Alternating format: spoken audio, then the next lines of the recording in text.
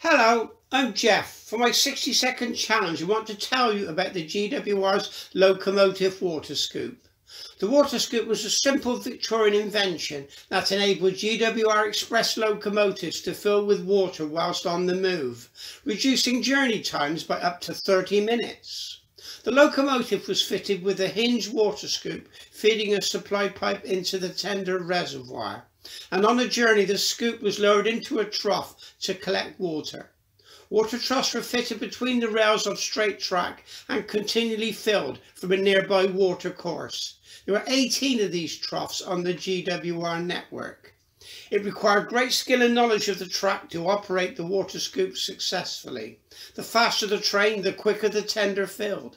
If it filled too quickly, the tender overflowed and gallons of water would spill onto the footplate, giving both fireman and driver an unexpected early bath.